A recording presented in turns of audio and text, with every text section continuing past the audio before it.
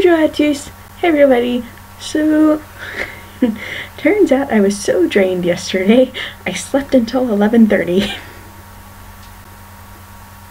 Guess who did not go to Saint Guilhem le Désert today? but that's okay. I used this day to do work. I even got some more writing done, which was nice. It's always good to have some quiet time. I talked to my parents today and got some stuff sorted out for next semester, which is nice.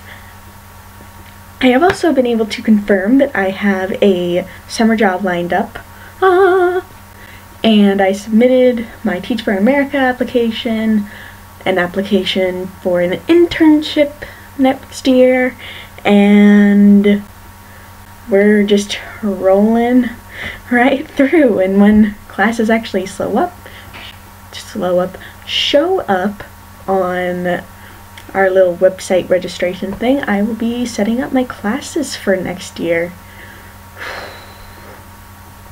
Fall semester, let's see, I'll be doing my French senior sem, medieval art history.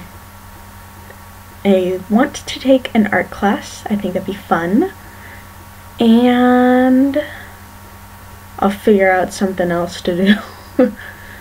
I may make it another French class. I may make it another art history class that I think is really cool. We'll find out. I'm excited. But I have also been able to register for a summer class. I will be doing my general seminar online over the first part of my summer. It's called Life Stories, and we will be looking at what makes up a life and writing our own life stories, which is really cool. But yeah, I am excited. Thinking about the future is both scary and exciting. I had a little mini freak out today uh, because I was like, wait, how do I pay my housing deposit? I can't find it. Ah! We found it eventually, and it was fine. We were just kind of going, how? How does this work?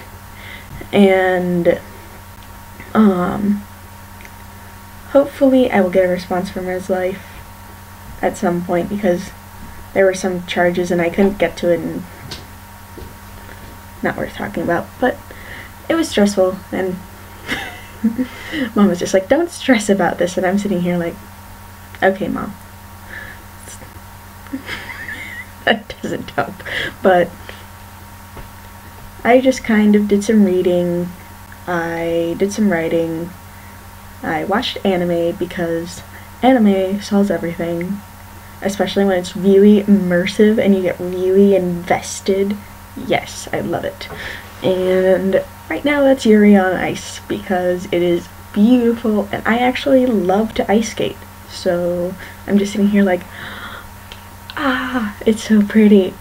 But yeah, that's what I've been up to today. I hope you guys are having a wonderful day, and I will see you tomorrow when I go to my class and do more of the things. It's gonna be great.